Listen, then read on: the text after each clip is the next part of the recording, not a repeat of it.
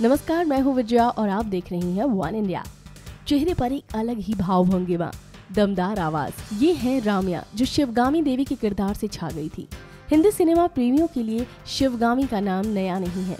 Film में गुस्सैल चेहरा, माथे पर चमक और वीरांगना जैसी शख्सियत शिवगामी, यानी राम्या कृष्णन ने बॉलीवुड की कई फ़िल्मों में काम किया। आइए जानते हैं राम्या से जुड़ी कुछ अनसुनी कहानियाँ। राम्या कृष्णन का जन्म 15 सितंबर 1970 को चेन्नई में हुआ था।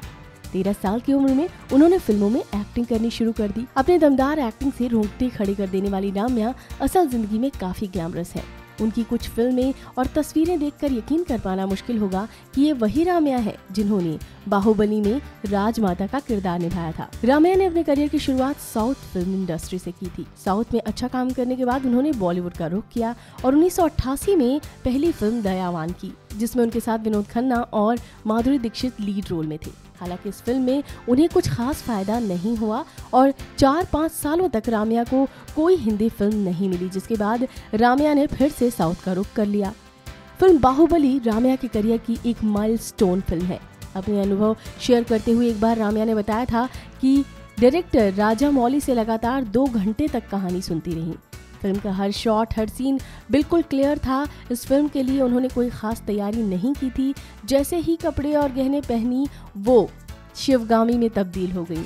इस फ़िल्म के बाद न केवल साउथ में, बल्कि देश विदेश में भी लोग उन्हें शिवगामी के रूप में जानने लगे। रामिया ने बाहुबली टू के लिए करीब दो दशमलव पाँच करोड़ चार्ज किए थे। रामिया की संपत्ति की बात करें तो उनके पास करीब बत्तीस करोड़ की संपत्ति है। साथ ही एक मर्सिडीज बेंच एस है, जिसकी कीमत करीब सवा करोड़ रुपए है। राम्या का चेन्नई में एक बंगला भी है। फ़िलहाल वो अपने परिवार के साथ यही रहती हैं। बाहुबली फ़िल्म की दोनों सीरीज़ ने बॉक्स ऑफ़िस पर तहलका मचा दिया था। इन दोनों ही फ़िल्मों में जितना प्रभास के किरदार को सराहा गया उतनी ही पॉपुलर हुई बाहुबली की माँ शिवगामी देवी। इन दोनों ही फ़िल्मों में राम्या ने शिवगामी का रोल निभाया था, जिसे देखने के बाद लोग मंत्र हो गए थे। हालाँकि ये बात बहुत कम लोग जानते हैं कि बाहुबली की माँ के किरदार के लिए राम्या पहली पसंद नहीं थी। राजा मौली के इस किरदार के लिए पहली पसंद रामा कृष्णन नहीं, बल्कि बॉलीवुड दिवंगत एक्ट्रेस श्रीदेवी थी। कहा जाता है कि एस एस राजा मौली ने शिवगामी के किरदार के लिए श्रीदेवी से संपर्क किया था।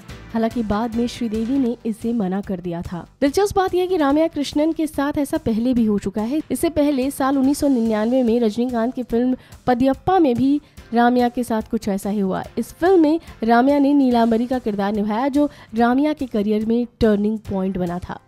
सोर्सेस की माने तो नीलांबरी के किरदार के लिए रामिया से पहले ऐश्वर्या राय बच्चन को ऑफ़र किया गया था। आज आलम यह है कि हर कोई रामिया कृष्णन को राजमाता के किरदार से पहचानता है। रामिया इससे पहले कई बड़ी बॉलीवुड फ़िल्मों में बड़े स्टार्स के साथ काम कर चुकी हैं।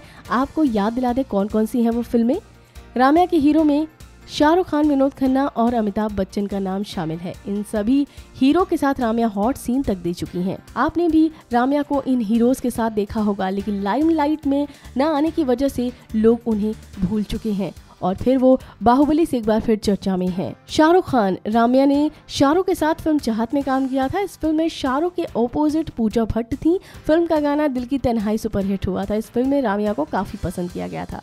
अमिताभ बच्चन, रामिया ने उन्नीस सौ अठानवे में आई फ़िल्म में बड़े मियाँ, छोटे मियाँ में अमिताभ बच्चन के साथ काम किया था। दर्शकों ने इस जोड़ी को खूब पसंद किया। इस फ़िल्म में गोविंदा और रवीना टंडन लीड रोल में नज़र आए थे। विनोद खन्ना, रामिया ने विनोद खन्ना के साथ फ़िल्म परंपरा में काम किया था, जो की उन्नीस सौ तिरानवे में आई थी। इस फ़िल्म में दोनों की केमिस्ट्री देखने लायक थी। जैकी श्रॉफ, साल दो हज़ार सत्तानवे में आई फ़िल्म में रामिया ने जैकी श्रॉफ के साथ भी काम किया। इस फ़िल्म में दोनों का रोमांस दिखाया गया। गोविंदा, डेविड धवन की फ़िल्म बनारसी बाबू में भी राम्या गोविंदा के साथ ठुमके लगाती नज़र आई थी। तो ये है राम्या कृष्णन की अनसुनी कहानियाँ। इस वीडियो में फ़िलहाल इतना ही।